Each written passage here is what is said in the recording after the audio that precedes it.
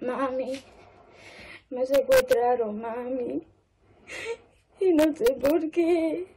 Una joven amordazada, un cuchillo en el cuello y sangre falsa. Así simularon un secuestro para cobrar 50.000 euros del supuesto rescate.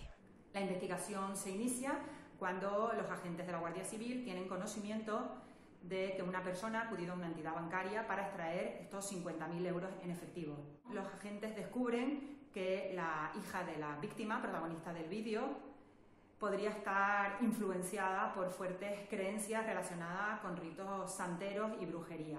No era la primera vez que sucedía. La víctima, madre de la autora de la extorsión, ya había entregado 45.000 euros en ocasiones anteriores tras recibir cartas con amenazas de muerte a su hija. Los autores fueron detenidos en un local de ocio.